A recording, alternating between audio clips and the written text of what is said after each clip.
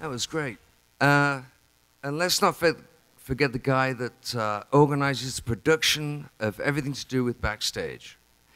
And the nominees for the Patrick Stansfield Production Manager of the Year are Jason Danter, Madonna. Duchess Iredale, Hozier. Dermont Lynch, The 1975. Brian Petrie, Garth Brooks.